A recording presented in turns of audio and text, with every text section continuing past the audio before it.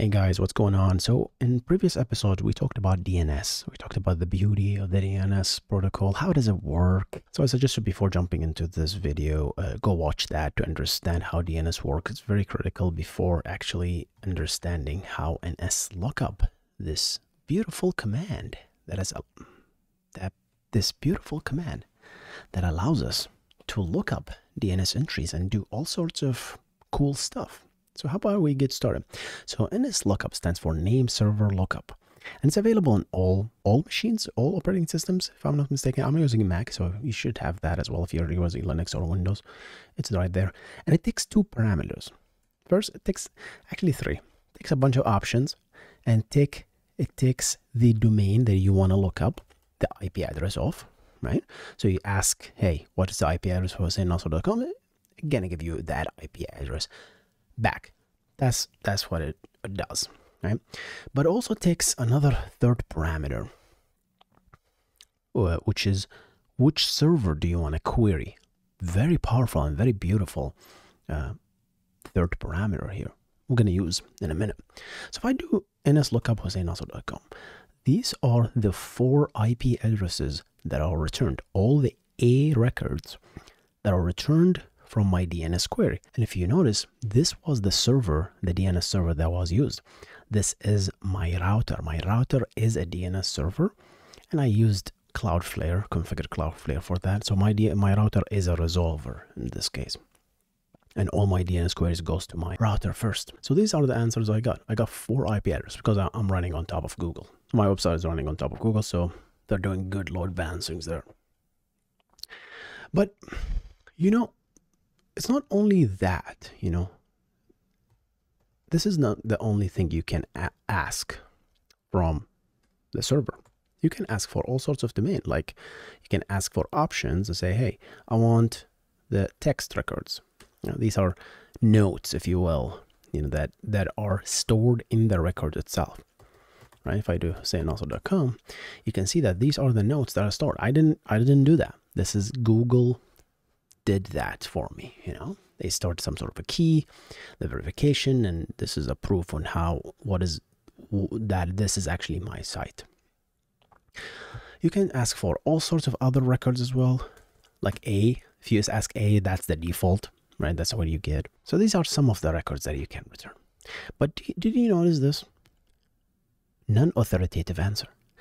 This means that this IP address was returned from a cached resolver, as I explained in my previous video.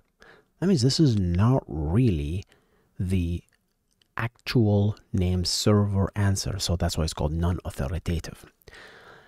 Well, what, if I don't trust this answer? And I don't, want to really be secure. Right? Well, you can do this. ns lookup dash type equal ns. And you can ask when you do the query, you can ask for the name servers, for the authoritative name servers to be returned. And these are my authoritative name server. DNS4, well, I have like five DN authoritative name server. I'm my server is running on top. My registrar is eNom, which went down few months back. So now here's what it comes powerful. Let's let's copy one of those puppies. Yeah. And I can now do ns lookup I do husseinnasser.com. Then I add another parameter. That third parameter is which resolver you want to query. And in this case, I want to query this particular one.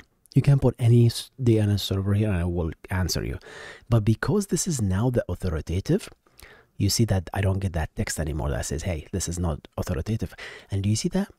My recursor, my local router recursor was bypassed. I have bypassed everything and went directly to the source. So that is as authoritative as it can get, right? Very powerful stuff. I can also do husseinnasser.com and I can ask a query from any particular resolver. I can ask Google 8888. Give me an answer for that.